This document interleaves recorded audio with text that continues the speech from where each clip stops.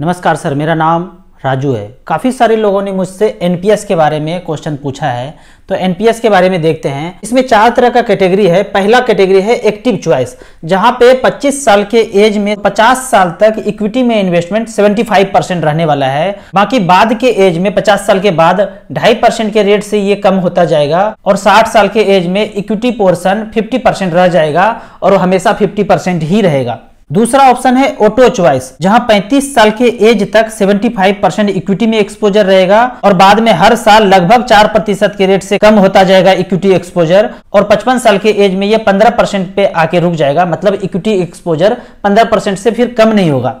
तीसरा ऑप्शन है moderate life cycle fund जहाँ पे 35 साल के एज तक, मान लीजिए आपने 20 से नौकरी शुरू किया तो 35 साल के एज तक 50 परसेंट इक्विटी एक्सपोजर रहेगा और बाद के एज में हर साल इक्विटी एक्सपोजर 2 परसेंट से कम होता जाएगा और 55 के एज में 10 परसेंट पे इक्विटी एक्सपोजर रहेगा उससे कम नहीं होगा, बाकी पैसा डेट इंस्ट्रूमेंट में रहेगा।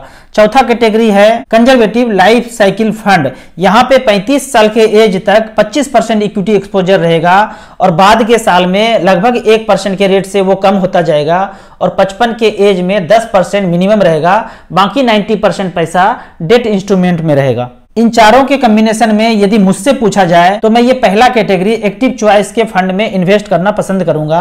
इसका यदि मैथमेटिकल कैलकुलेशन किया जाए तो इस तरह से कि मान लेते हैं कि कोई एनपीएस में बीस हज़ार रुपए पर मंथ का सब्सक्रिप्शन करते हैं तो उसका 75 परसेंट कितना होता है? पंद्रह हज़ार रुपया। और 25 साल के एज से अगर नौकरी शुरू किया, और 50 साल के एज तक 75 परसेंट इक्विटी में इन्वेस्टेड रहना ज़रूरी है।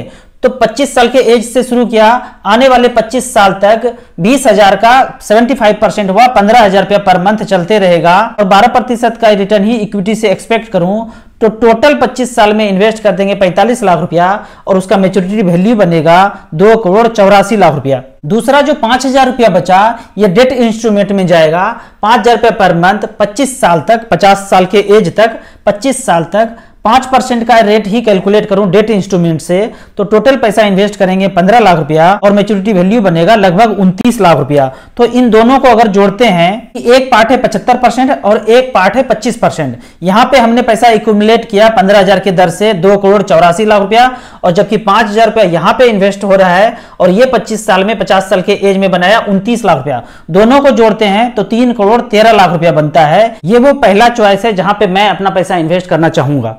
आपको म्यूचुअल फंड एसआईपी के बारे में और कुछ जानना है और यदि आप ऑफिसर हैं तो मेरे number nine nine two nine six four one two six five पे मुझे व्हाट्सअप कर सकते हैं। चार पाँच ऑफिसर मिलकर आप अपने ऑफ़िस में हमसे गूगल मीट पे जुड़ सकते हैं। अपने मंथली मीटिंग वेलफेयर मीटिंग में आप मुझे फाइनेंशियल प्लानिंग के क्लास के लिए बुला सकते हैं। वीडियो अच्छा लगे तो आप अपने व्हाट्सएप ग्रुप में ज़रूर शेयर करें। थैंक यू सो मच जो लोग मुझे यूट्यूब और फेसबुक पे देख रहे हैं ऑनलाइन लिंक में जाके आप म्यूचुअल फंड का अकाउंट मेरे साथ खोल सकते हैं। मैं एक फाइनेंशियल एडवाइजर हूँ। एक बार अकाउंट ओपन हो जाए, फिर आप मुझसे व्हाट्सअप करके पूछ सकते हैं कि आपको एक एक हज़ार या दो दो हज़ार का एस आई पी कहाँ पे लेना चाहिए। जब आपका नॉलेज और कॉन्फिडेंस बढ़ जाए तो आप इसमें ज़्यादा पैसा इन्वेस्ट करने का सोच सकते हैं। वीडियो अच्छा लगे तो लाइक एंड सब्सक्राइब ज़रूर करें। Thank you so much